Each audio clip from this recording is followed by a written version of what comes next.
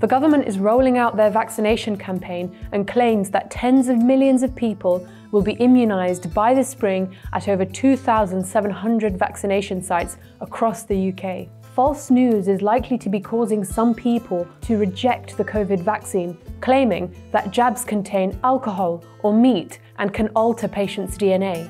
It's clear that ethnic minority groups are being hit harder by the COVID-19 pandemic than others. 57% of black and minority ethnic people said they would take the vaccine compared with 79% of white people. Bringing COVID 19 to an end will require active participation from faith communities. We also published full information about the myth, misinformation, which has been in the social media. A recent statement by the British Islamic Medical Association has confirmed that there are no animal products in the vaccine and it does not contain any human embryonic cells. Therefore, we will urge Muslims eligible for the jab to take up the offer. As a Hindu and an active Rotarian, I'm in favor of taking this vaccination. In fact, I've already taken my first dose and feel completely well with it.